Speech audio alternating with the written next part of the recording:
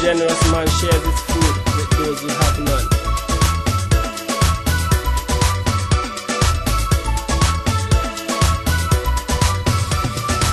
There's so many homeless people on the street.